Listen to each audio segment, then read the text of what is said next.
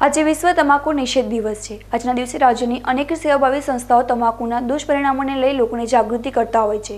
જોકે આજની એકવીસમી સદીના યુવાનોમાં ગુટખા તમાકુ, વ્યસન, હૃદય અને મનમાં ઘર કરી ગયું છે. દિવસ દરમિયાન દસથી વીસ જેટલી પડીકીઓની ચાવી, કેન્સર સહિતની ગંભીર બીમારીને નોંધી રહ્યા છે.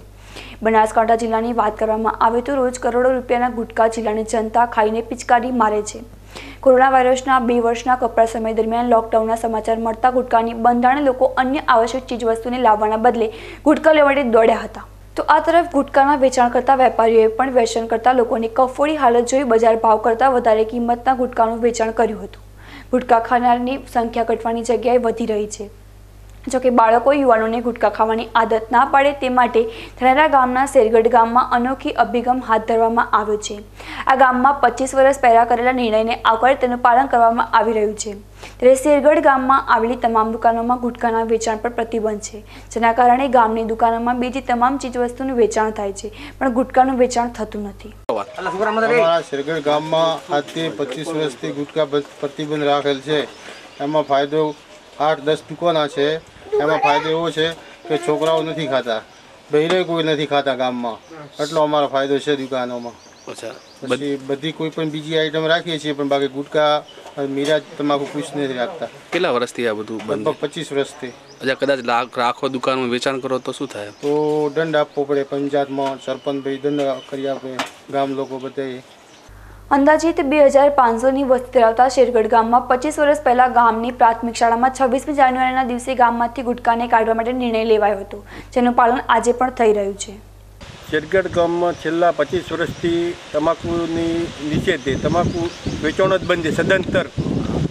જે પેકિંગમાં, પ્લાસ્ટિક પેકિંગમાં વસ્તુ વેચાય ધોણાદાળ પણ બંધ છે શેરગઢમાં પચીસ વર્ષથી બધું.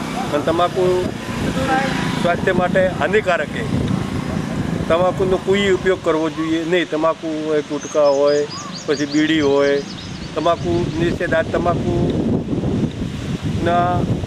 એનાથી ઘણા રોગો થતા હોય છે. તો જે અમારા ગામનો બંધી છે બીજા બધા ગામો અને દુકાનોવાળા અને જે પાળે એવી મારી અપીલ. કે ક્યારે નિર્ણય લેવાયો હતો કોણે નિર્ણય લીધો આ બંધ કરવાનું ગુટકા વેચવાની આ ગામ લોકો ભેગા થઈને છવ્વીસમી જાન્યુઆરી હતી. મને સાલ એક્ઝેક્ટ યાદ નથી. ને સ્કૂલમાં મારે તેઓ આખા ગામના આગેવાનો ભેગા થઈ અને આ નિર્ણય લીધો ફાયદો થાય છે ખરી આ ના ગુટકા ના સો ટકા ફાયદો. અમારા ગામમાં કોઈ બે કોઈ તમાકુ કોઈ ગુટકા કે કોઈ વ્યસન છે જ નહીં કોઈ નહીં. બનાસકાંઠા જિલ્લામાં ગામ કે શહેરમાં આવેલી દુકાનોમાં સૌથી વધારે ગુટકાની પડીકુનું વેચાણ થતું હોય છે.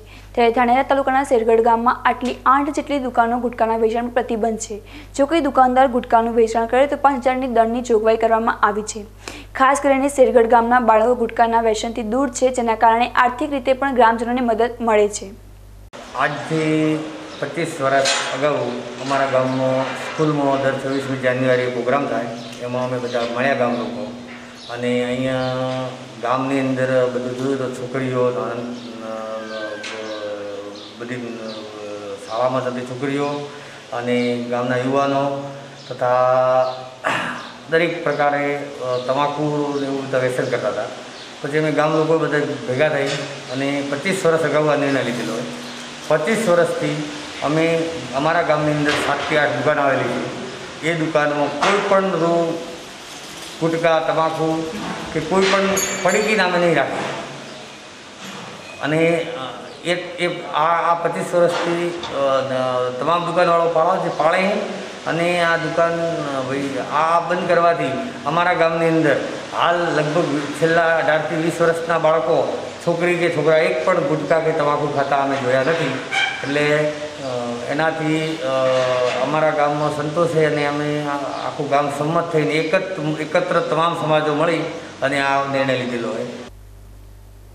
બનાસકાંઠા જિલ્લાના અન્ય ગામોમાં નવી પેઢી વ્યસન અને ગુટકાથી દૂર રાખવા માટે દુકાનો પર પ્રતિબંધ મૂકવો જોઈએ, જેથી લોકોના સ્વાસ્થ્યને હાનિ પહોંચાડતા ગુટકાનો નાશ કરી શકાય. ગુટકાનું વ્યસન રોકવા માટે કચ્છમાં આજે વ્યસન મુક્તિ કાર્યક્રમ યોજાયો હતો, જેમાં મુખ્ય જિલ્લા આરોગ્ય અધિકારી ડોક્ટર પ્રેમકુમાર કન્નર કહ્યું હતું કે, સરકારી દવાખાનામાં વ્યસન મુક્તિ મદદરૂપ થતી સેવા આપવામાં આવે છે. તેનો સૌએ લાભ લેવો જોઈએ.